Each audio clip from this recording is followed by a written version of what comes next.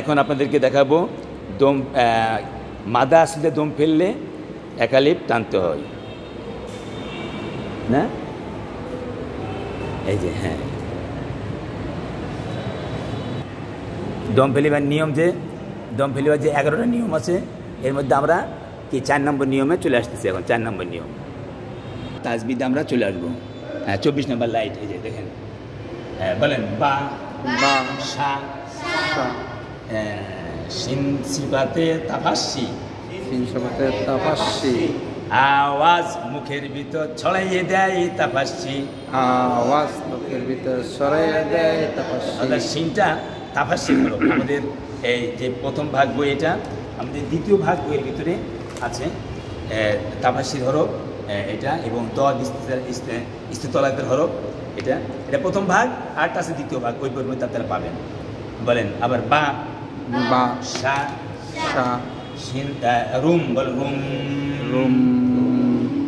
রয়ের উপর পেশ আছে র হরফ মোটা। রয়ের উপর পেশ আছে রহরপুর নুন সাকিনের গুন্না সহ ঈদ গম। গুণ শিখলে গুন্না সহ ঈদ গম। মিমি করল ঈদ গম। মিলে করল ঈদ গম। মিমের উপর তাসদিদ গুন্না করা ওয়াজিব। মিমের উপর তাজদিক গুন্না করা ওয়াজিব। তাসিদ আছে? তাসিদ আছে? না। বলেন তাসদিদ থাকার না থাক তাজদিক থাকার না থাক তাসদিদ ধরে পড়তে হয়। তাস তাজদিক ধরে পড়তে হয়। তাহলে বাসারুম মিসলুনা বাসারুম মিসলিনা বলে মাথা আসতে দম ফেলিলে। মাদে আসলিতে দম ফেলিলে। এক আলিফ টানতে হয়। এলিপ টানতে হয়। আলাই দম ফেলান যাবে না। নিচে কোনো বাক্য থাকলে পুনরায় পড়তে হবে না। আত না। হ্যাঁ, হ্যাঁ মাদ্রাসিতে দম ফেলিলে এক আলিপ টানতে হয়। লা ওয়াকফা আলাই দম ফেলান যাবে না নিচে কোনো ওয়াকফ থাকলে নিচে কোনো বাক্য থাকলে পুনরায় পড়তে হবে না পুনরায় পড়তে হবে পুনরায় পুনরায় হ্যাঁ অর্থাৎ যদি কোনোখানে লামালিক থাকে শুধু লামালিক কিছু নাই নিচে তাহলে দম ফেললে আমাদের এক শব্দ পিছন থেকে ঘুরায় পড়তে হয়।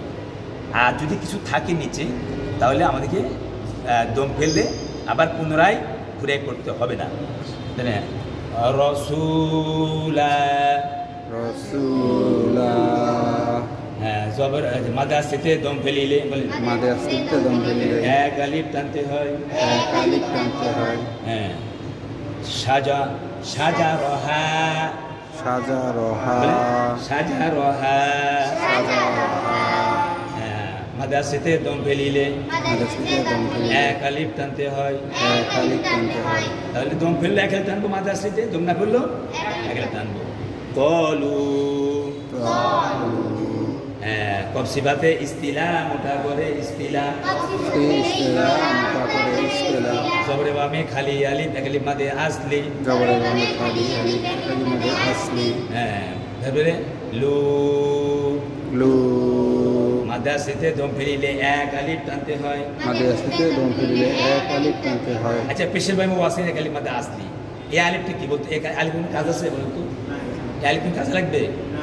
এই আলিফ কোন কাজে লাগবে? আলিপে জায়দা। না না না। এটা তো আলিফে জায়দা না। এটা জমার আলিফ। বহু বছরের জন্য এই আলিফের ব্যবহার হয়। আর আলিফ জায়দা হলে উপরে গোল চিহ্ন থাকবে। সেটাকে আলিফ জায়দা বলা হয়। ঠিক আছে আচ্ছা তাহলে কলু কলু ওয়াত্তাকু ওয়াত্তাকু সিবাতে ইস্তিলা মোটা করে ইস্তিলা। অফসিবতে ইস্তেলা মোটা করে ইস্তেলা। হ্যাঁ, পেশের বামে ওয়াও সাকিন একালি মাদে আসলি। দেশের বামে ওয়াও সাকিন একালি মাদে আসলি। মাদাসিতে দম ফেলিলে। মাদে আসলিতে দম ফেলিলে। এক আলিফ টানতে হয়। এক আলিপ টানতে হয়। আবার কোন? মাদাসিতে দম ফেলিলে। এক আলিপ টানতে হয়। আলিফ। আলাই ফেলান যাবে না।